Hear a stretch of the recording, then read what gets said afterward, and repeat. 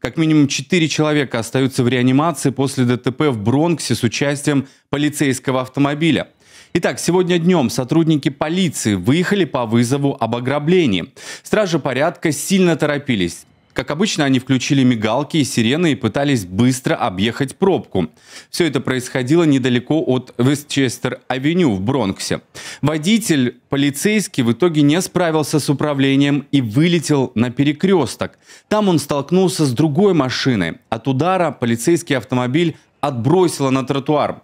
В итоге 10 человек получили травмы. Это шестеро пешеходов, включая пятилетнего ребенка. Сами двое полицейских тоже пострадали. Ну и ранения получили еще два человека. Они находились в машине, в которую и врезался патрульный автомобиль.